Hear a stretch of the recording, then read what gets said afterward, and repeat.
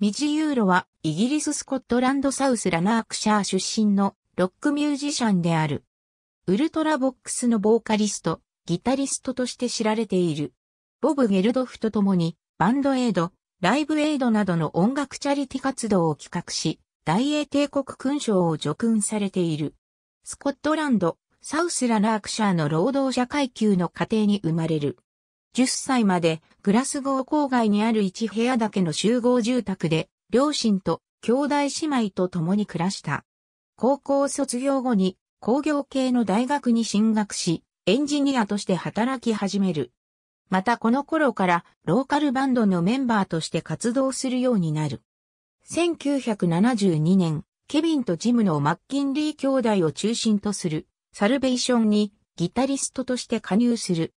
この時、ユーロは本名のジェームズ・ユーロの愛称ジム・ユーロを名乗っており、ジム・マッキンリーの同じバンドに二人のジムがいることは混乱を招くという理由で、ジムのバックワードであるミッジと呼ばれるようになる。これ以降ユーロはミッジ・ユーロをその芸名とする。1974年、ボーカルのケビン・マッキンリーがソロ活動のため脱退し、バンド名をスリックに改名。ユーロがボーカルも取るようになる。ベイ・シティ・ローラーズのプロデューサーチーム、ビル・マーティンとフィル・コールターの後押しのもと、セカンドシングル、フォーエバーエバーが全英1位となり、続いて、レクイエム、俺はパンクボーイとヒットを放ち、ユーロはアイドルグループのフロントマンとして人気を得る。1975年、セックスピストルズの前身バンドスワンカーズから、ウォーリー・ナイチンゲールが脱退した際に加入を誘われるが、スリックとの契約の関係から断り、スワンカーズにはジョニー・ロットンが加入し、セックスピストルズとしてデビューすることになる。スリックで作られたティーニーポッパー的なイメージから脱却を考えていたユーロはセックスピストルズを脱退した二人、グレン・マトロックとスティーブ・ニューラが結成したリッチ・キッズに誘われ、ロンドンでリハーサルを行うが不調に終わり、スコットランドに帰る。ユーロは再びスリックに戻るが、スリックのレコード契約が切れるとともに、1977年、リッチキッズに参加する。1978年1月、デビューシングル、リッチキッズをリリース。同年8月に、王子の幻影をリリースする。しかし、ユーロとラスティーガンは、ニューロマンティックの発端であるスティーブ・ストレンジに接近し、その音楽面のプロデュースするなど、パンク寄りのロックを好む他の二人との音楽的方向性の亀裂は深まり、1978年12月にバンドは活動停止となる。1979年、ユーロはスティーブ・ストレンジのバンドビサージの音楽的プロデュースとそのバンドメンバーとして活動を始め、同じくビサージのメンバーでありウルトラボックスのキーボーディスト、ビリー・カーリーの誘いで1979年4月、ウルトラボックスにボーカルとギターで参加する。またこの時期、シン・リジィのツアー途中で失踪したゲイリー・ムーアの代役として、旧知のフィル・ライノットに呼ばれ、日本公演を含む残りのツアーに参加した。続く1980年のツアーにも、キーボード担当として客演した。ウルトラボックスでのミッジ・ユーロ1980年7月、ユーロ加入後初、バンド通算4作目となるアルバム、ビエナがリリースされる。ユーロによるアグレッシブなギターワークとシンセサウンドを両立させたサウンドを展開し、シンセポップの隆盛やニューロマンティックブームなどの追い風も受け、全英3位72週チャートインする。シングルカットされた同名曲ビエナは全英2位となる。また、1980年11月、ユーロのプロデュースでビサージのファーストアルバムビサージがリリースされシングルカットされた Fade to Grey は全英8位となる。こうしてビサージとウルトラボックスはニューロマンティックシーンにおいて代名詞的なバンドとなり、ユーロ自身もニューロマンティックを代表するミュージシャンの一人となる。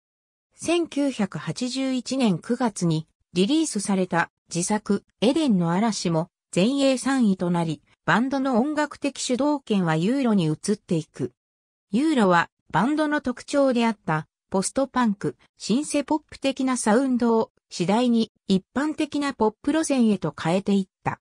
ビサージからは、セカンドアルバム、マイ、ダンスマイナスを最後に、ウルトラボックスでの活動に専念するため離れていった。1984年、1983年から始まったエチオピア飢餓に対するチャリティプロジェクトをボブ・ゲルドフと共に起こす。ユーロはゲルドフとチャリティソング Do They Know It's Christmas を書き、イギリスとアイルランドの有名ミュージシャンが歌った。翌1985年には同じくゲルドフとアフリカ難民救済のための世界的チャリティコンサートを企画した。リターントゥエデンツアー2009-1985年、ユーロは初のソロアルバム、ザ・ギフトをリリースする。ウルトラボックスとは異なる穏やかなポップスを展開し、全英2位を記録、シングル、If, I Was は全英1位となる。これはユーロにとって3度目のシングル全英1位である。1986年、ウォーレン・カーンの脱退の後レコーディングされた U-BOX のリリースを最後に、ユーロとクリス・クロスがウルトラボックスを脱退し、バンドは事実上解散する。その後ユーロは1988年から2001年にかけて5枚のソロアルバムを散発的に発表しつつ、ライブ活動を行う。2005年にその音楽と事前活動に対し大英帝国勲章を叙勲される。2008年11月にユーロ、カーリー、クロス、カーンによる全盛期ウルトラボックスの再結成が発表され、2009年及び2010年にリターントゥエデンツアーとしてイギリス及び欧州公演が行われた。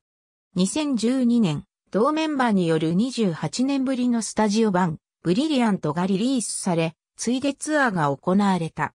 2014年には13年ぶりのソロアルバム、フラジャイルを発表した。セレブリティスピーカーズアソシエイツハットマグラス、ニック、ミッチユーロ、マイファミリーバリューズ、ザ・ガーディアン、http www.guardian.co UK ライフェンドスタイル2012セプテンバー22ミッチユーロウルトローバックスファミリーバリューズ2015年2月8日閲覧。